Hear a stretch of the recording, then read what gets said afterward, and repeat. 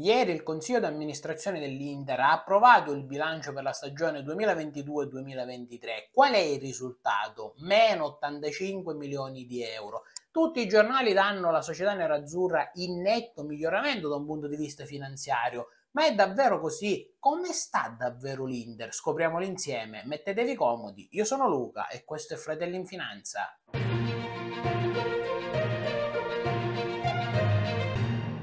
Iniziamo la nostra analisi dicendo che gli ultimi tre bilanci dell'Inter sono stati disastrosi. Veniamo da un meno 245 milioni di euro, meno 140 e ora meno 85 milioni di euro.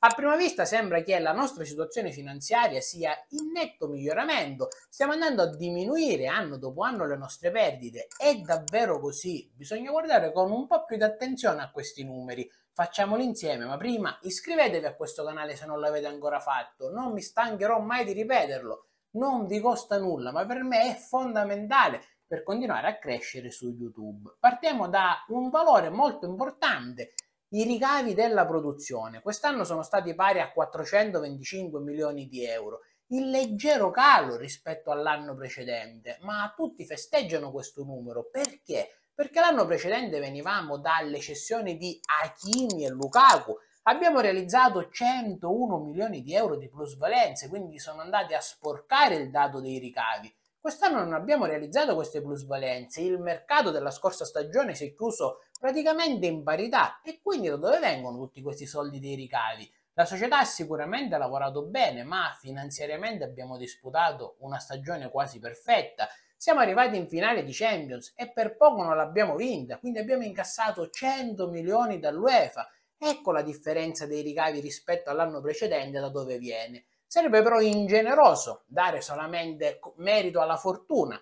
La società ha lavorato bene e si emerge questo dai costi della produzione. Questi sono passati da 523 milioni di euro a 465, quindi abbiamo un 60 milioni di euro di miglioramento L'Inter viene da un lustro dove ha ridotto del 12% il costo del suo monte salari, quindi un dato importante.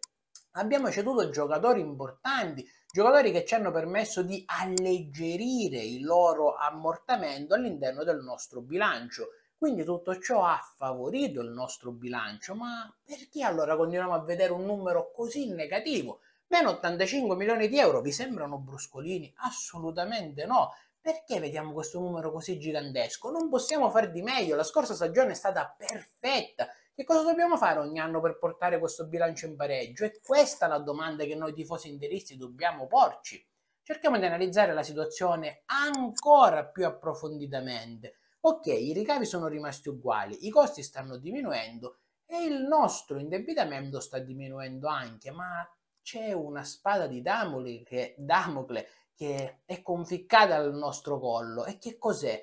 I debiti che la società ha. Ho già realizzato altri video riguardo la situazione finanziaria dell'Inter che vi lascio qui sotto in descrizione e qui sopra se volete dargli un occhio dove vi spiego da dove provengono questi debiti. Per farla breve, il debito più importante ce l'abbiamo con il fondo Oak3 e questi debiti ci costano ogni anno quasi 50 milioni di euro, questo che cosa significa? Sedersi al ristorante e pagare metà del conto senza mangiare. Ogni anno noi acquistiamo un top player solamente prima di entrare in campo, paghiamo un top player prima di entrare in campo, prima di iniziare la stagione. Che cos'è? Gli interessi sul debito che abbiamo. Quindi la società si sta sforzando di rendere il nostro bilancio più efficiente, ma fino a quando non andiamo a ridurre quel debito, fino a quando non andiamo a ridurre quegli interessi, è difficile rendere sostenibile la nostra situazione. Parliamoci chiaro, ragazzi, quante volte ci si arriva in finale di Champions? Tutti gli anni? No. Quante volte si vince lo scudetto? Non si può vincere tutti gli anni con frequenza. Sono cose che non si possono programmare e se quest'anno la stagione è fallimentare,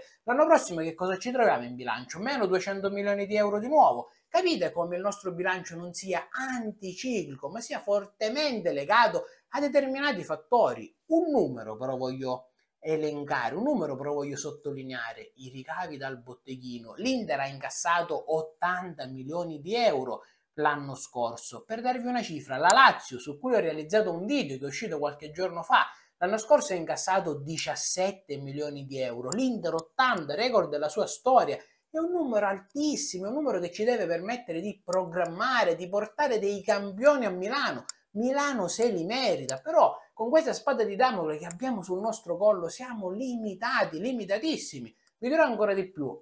Il 20 maggio del 2024 il prestito che abbiamo con il fondo OC3 scade. Due sono le strade. Suning deve vendere l'Inter a qualcun altro che si sobbarca quel debito oppure l'Inter deve rinegoziare con Octree quel debito e quando si rinegozia che cosa succede? Si rinegozia a tassi più alti. Quindi se quest'anno paghiamo 40-45 milioni di euro di debito, l'anno prossimo ne pagheremo 50, 55, 60. Quindi la situazione più che migliorare andrà a peggiorare. Che cosa può fare realmente Suning? Cercare nuovi soci che investono nell'Inter, farsi dare una mano, o vendere in toto l'Inter. Che cosa ci auguriamo noi tifosi nerazzurri? Che la nostra squadra possa raggiungere risultati in campo sempre più importanti, che possa portare i nostri colori, il nero e l'azzurro, in alto, sempre più in alto. Però al momento mi sento di dire che la nostra situazione rimane delicata. Chi dice che l'Inter sta migliorando anno dopo anno, per me sbaglia, non è intellettualmente onesto, la nostra situazione rimane critica.